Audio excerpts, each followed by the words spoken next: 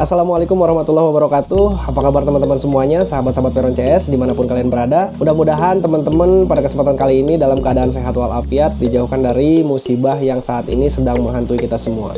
Dalam kesempatan kali ini gue mau nge-review sebuah mikrofon Mikrofon wireless nih dari keluarganya Boya. Kenapa gue e, mengusung keluarga Boya? Karena dari awal gue punya mikrofon e, semuanya hampir mereknya Boya gitu dan memang Boya sendiri juga sudah banyak banget direkomendasikan oleh beberapa kreator-kreator yang memang sudah terdahulu mereka menggunakan produk uh, tersebut dan mereka nilai produk Boya tersebut cukup worth it ya dari segi harga serta kualitas yang dia punya. Ini sama sekali bukan endorse, bukan iklan atau promosi apa pun. Ini pure e, karena memang gue pribadi menyadari bahwa Boya sendiri tuh memiliki memang kualitas yang cukup worth it dari harga yang kita bayar. Nah, mikrofon ini tuh adalah mikrofon wireless yang mana mikrofon ini tuh tanpa kabel ya. Jadi tentu saja ini sangat lebih efektif ya untuk digunakan karena eh, nggak e, ribet lagi tuh. Ada kabel-kabel yang melintang apalagi yang sering kita temui itu beberapa mikrofon dia memiliki kabel yang panjangnya lebih dari satu meter.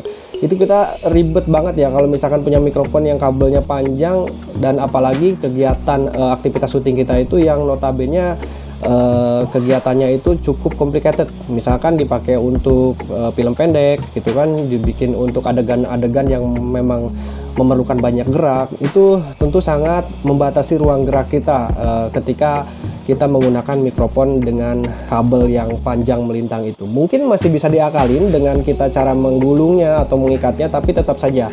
Menurutku uh, mikrofon dengan fitur kabel itu cukup kurang efektif lah. Makanya saat ini saat ini gue mau ngerekomendasiin buat teman-teman yang lebih prefer suka dengan mikrofon yang wireless mungkin ini bisa jadi salah satu rekomendasi buat teman-teman semuanya. Nah dan kesempatan kali ini mikrofon yang aku maksud adalah mikrofon wireless dari Boya WM4 Pro. Kenapa gue rekomendasikan BY WM4 Pro? Ya sebenarnya gue nggak rekomendasiin banget sih. Mungkin bagi teman-teman yang memiliki budget lebih untuk membeli yang lebih bagus juga sebenarnya masih banyak. Cuma ya memang saat ini gue hanya mampu membeli Boya WM4 Pro tersebut oke langsung saja. Sepertinya nggak usah bertele-tele langsung aja kita ulas detail spesifikasi daripada Boya WM4 Pro ini. Check this out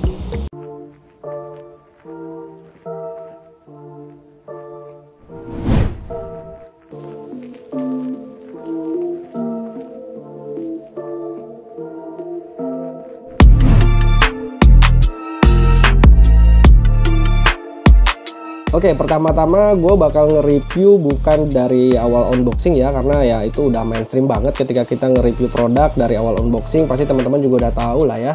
Isi dari produk tersebut itu pasti nggak jauh dari kartu garansi, serta apa namanya um, buku panduan, kartu garansi, buku panduan itu pasti memang ada lah di setiap box itu. Nah, makanya gue langsung aja review seperti ini. Bisa teman-teman lihat di dalam pouch daripada boya ini itu terdapat dua buah uh, dua buah alatnya ini ya yang yang mana yang satunya itu adalah sebagai transmitter dan yang satunya lagi sebagai receiver. Nah, di samping dari dua buah alat ini tuh terdapat juga beberapa aksesoris. Nah, di sini ada satu buah clip on dan clip on ini juga lumayan bagus ya teman-teman. Ini kualitasnya yang lavalier ya, yang yang mana ini uh, juga kualitasnya lumayan mumpuni lah ya. Nah lavalier lalu di sini juga ada kabel jacknya ya kabel jack untuk menghubungkan dari uh, receiver ke Android atau ke kamera. Nah di sini bisa teman-teman lihat ada logo stiker seperti ini. Ini untuk menandakan colokan ke receiver dan colokan ke handphone Nah, untuk fitur tombol serta lubang yang terdapat pada alatnya sendiri, mari kita bahas satu-satu. Dari yang transmitter sendiri itu terdapat tombol on off yang mana itu berfungsi untuk menghidupkan dan mematikan alat itu sendiri.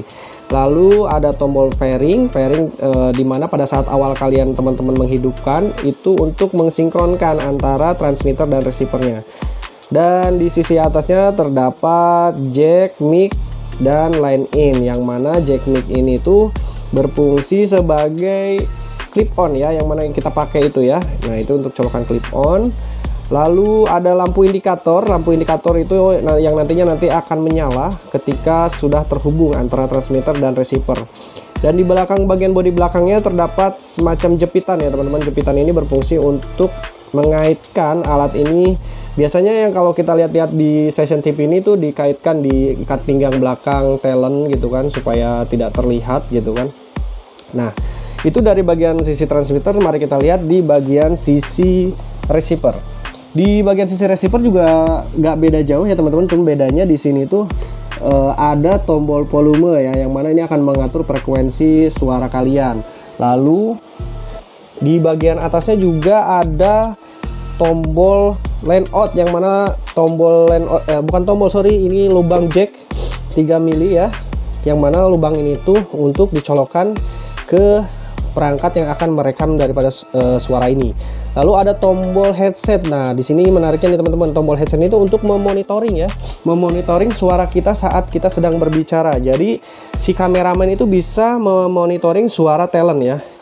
Dari segi build quality-nya sendiri ini terbuat dari bahan plastik ringan ya teman-teman. Ini tidak terlalu kokoh sih memang kalau dari build quality-nya. Uh, dia bahannya plastik dan cukup ringan ya dan untuk daya untuk mengoperasionalkan alat ini sendiri itu dia menggunakan baterai ya baterai alkalin yang kecil nih yang biasa kita temuin itu biasa dipakai untuk baterai-baterai remote AC ya remote AC remote TV nah seperti itu dan untuk penggunanya sendiri ini bisa di kamera atau di handphone ya buat teman-teman nih kalau belum punya kamera yang support dengan mix eksternal teman-teman bisa pakai untuk di handphone nih teman-teman Nah, untuk di handphone sendiri instalasinya juga cukup mudah ya teman-teman. Itu eh, teman-teman uh, tinggal colokin si receivernya itu ke kabel jacknya, lalu kabel jacknya itu dicolokin ke lubang headset.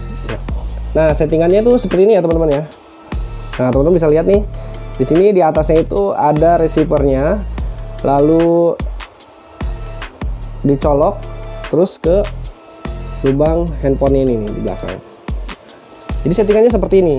Dan kalau teman-teman mau tahu hasil kualitas dari Boya WM4 Pro ini, teman-teman juga mungkin sudah sadar dari awal video ini dibuat, ini direkam menggunakan Boya WM4 Pro. Nah, dan seperti inilah kualitas suara yang dibuat yang direkam, sorry, yang direkam oleh Boya WM4 Pro. Kalau teman-teman mau ngebandingin antara suara Boya WM4 Pro ini dengan suara bawaan handphone, bisa kita lihat seperti ini perbedaannya antara e, menggunakan rekaman mix eksternal wireless ini atau cukup dengan mix handphone. Oke, sekarang teman-teman dengarkan terlebih dahulu. Ini adalah suara dari Boya WM4 Pro. Cek cek 12 tes 12. Ini adalah suara dari Boya WM4 Pro. Diingat teman-teman ya, dirasakan. Dan sekarang teman-teman akan ngedengerin suara dari handphone. Nah, ini adalah suara dari handphone. Tanpa diedit, tanpa diperbesar, tanpa diapapun. Ini pure suara dari handphone. Oke, cek 1, 2, 3, 4. Ini suara dari handphone.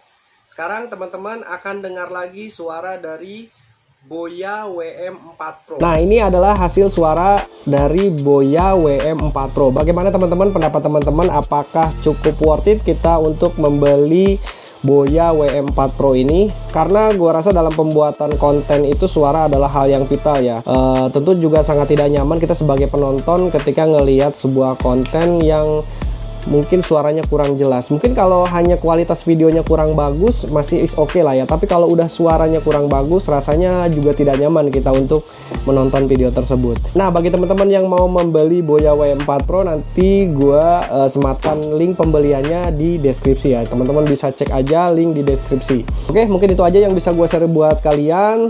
Terima kasih telah menonton. Jangan lupa like and subscribe dan jangan lupa juga kritik dan sarannya silahkan tulis di kolom komentar.